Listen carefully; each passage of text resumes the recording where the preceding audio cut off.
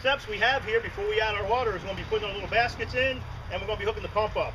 So with these baskets, the little trick is, you can see they have a cut out. We're just going to squeeze them like that. And we're just going to place them in each slot and then let it go. It'll snap in there. We just want to make sure that this back piece is in behind each one of the uh, the lips for the tower there. And we're just going to go ahead and we're just going to fill in these spots with the baskets. So we'll be right back and then we'll show you how to hook up the pump. Okay, here we go. We're going to be hooking the pump up and this is again our final step. Got all the baskets in before we start adding water. Um, this is about the only thing here where I think if you have a second person, um, it's the only step portion here that you really need a second person. You could probably do it yourself. You just reach in here and you grab that blue cord. But you know what? I want to try that. So, because that way we can see. Is Can this be done by one person? Look at that. It sure can. So, heck, I didn't even know that the last time. We did that with two people when we first put one together just to see, you know, how it was. So, there we go. It surprised me. Um, one of the things is, is there is a flow control on this pump that they provide. And again, that's max. And then this was minimum all the way over to the other side. I put it just about halfway and that seemed to work really well. And again, okay, once you have the pump in, you want the pump to go closer to the edge. And again, that's so you don't create what's called a short, short circuit. If you had it in the center, you have your water coming down from the tower and you have the pump underneath, so it'll be actually kind of grabbing that water there and you could have actually have pockets of water around the edges that aren't really getting mixed in. Um, there's a hole on the side, and that's where your cord's going to come out. Up towards the top. Oh yeah, I forgot to tell you, one of the things I found is um, to, uh, this, the tub being full takes about 20 gallons, and that's about three inches from the lip. So what I recommend doing is, is go ahead and measure down three inches from the lip and take like a big Sharpie or something like that, or some type of indelible marker, and make a line there, right where you have this little access panel. That way, when you go to refill and everything, there's no guessing about it. You just fill to that mark each time.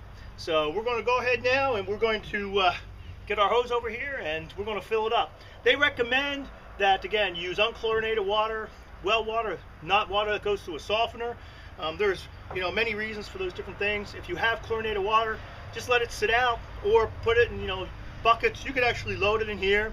Um, just don't put plants in it and drop a couple things of um, drops of lemon juice in there and the citric acid in there will quickly destroy the, um, the chlorine. But if you wanted to, you could fill it and then let it sit for about 24 hours and get rid of the residual chlorine in there. And if you're worried about chlorine, you can just use like a uh, chlorine test kit that you use with your pools to see if there's a residual in there. So we're going to go ahead and we'll fill this up and when we're done with that, we'll come back and we'll show you how to add the nutrients and then start putting plants in. Okay, here we go. We're on our final step here. Um, just want to point out um, some things to you where um, when you have your pump on, all you want to do is, is the little spout that's at the top of the fountain is. You just want to make sure your water isn't going to pop up. You don't want it hitting the lid and all that. So just make sure that's the thing. And then once you have that down, just you pop your lid on there. Um, when you have your water in, you want to make sure that the pH is adjusted. And they recommend between six and a half and uh, down to five and a half. So we got ours somewhere around six right now. Uh, this is what they give you. It's a little pH tester like your pool tester. I have a hard time with them because I have a hard time looking at the colors and trying to figure out which one's which. So uh, what I recommend is get yourself a little electronic um, pH tester that you can use, you know, in the in the water, and you know you can get those, you know, online. There's multiple sources. If you want recommendations, you'll be able to go to our blog. We're going to be having that set up here soon too and uh, look at some of the different ones that I've used in the past, both with our projects like this, as well as uh, when I used to be in the um, environmental health and safety field, um, where you know I would use them in the field for water quality testing. I've used multi multiple varieties, different manufacturers, so I can give you some recommendations there. They have what they call for the fertilizer tower tonic. They have A and B. You want once the 20 gallons is in there, uh, they want 400 milliliters of each one. So it's they give you a measuring cup and you're going to put in basically two full measuring cups of each one.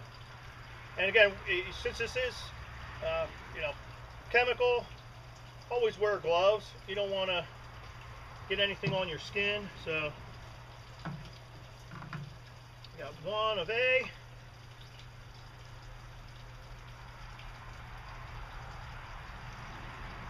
Okay, there's two of A. And then you want to mix that up uh, what I usually do is, is I would turn the tower on and let it be bubbling down and kind of mixing it on its own before I put plants in there. I don't have this one plugged in yet. Um, so you want to take like a stir stick. I've got one right over here. And just kind of want to stir it around just a little bit inside there. Again, you don't want to use your hand, but uh, get that stirred up, mixed up a bit. Then we're going to add B. And again, it's going to be 400 milliliters, so one, that's 200, and then another measuring cup full, another 200, that gives us the 400 we need. So there we go, that's 400 milliliters of each one. And then what I usually do is I'll use the cup, rinse it out inside there. Yeah.